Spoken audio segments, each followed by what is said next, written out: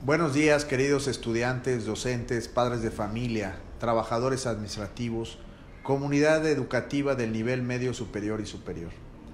Me siento muy contento de tener la oportunidad de dirigirme a todos ustedes a través de este medio.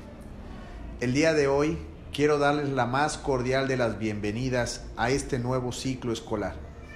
Estamos convencidos que la cuarta transformación de la educación en Veracruz no solo comienza en las aulas, sino en cada rincón de nuestro estado donde haya un hogar. Porque es ahí, en el seno familiar, donde comienza la formación integral del ciudadano del mundo. Este inicio de clases representa para la nueva escuela mexicana la base ideológica del humanismo, que desde la presente administración, encabezada por el gobernador Huitlagua García Jiménez, impulsamos desde la Secretaría de Educación de Veracruz con miras a establecer nuevos retos que solo se pueden alcanzar con la participación activa de toda la comunidad educativa.